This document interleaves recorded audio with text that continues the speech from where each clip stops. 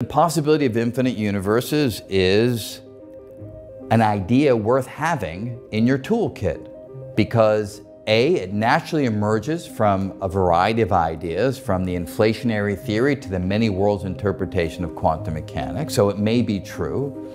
And if it is true, it completely changes the landscape of reality. If the universe is infinitely big, then you can pretty much prove mathematically that there'd be infinite copies of us out there, one after another after another, sometimes having exactly the same conversations, sometimes having slightly different conversations. That's a crazy idea.